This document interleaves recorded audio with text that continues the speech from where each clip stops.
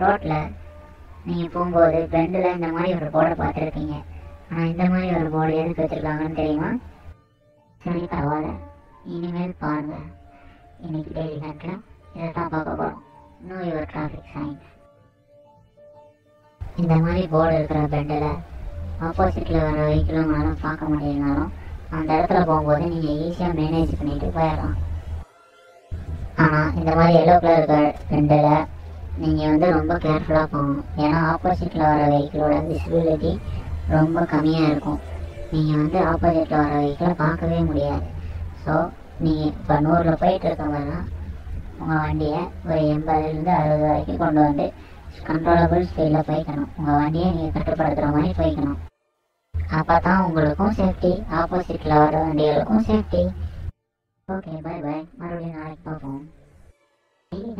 Video miss பண்ணிட்டீங்கன்னா எங்கள் channel பிளேலிஸ்ட்டில் போய் டெய்லி ஹண்ட்டை செலக்ட் பண்ணி அதுக்குள்ளே வீடியோஸ் இருக்கும்.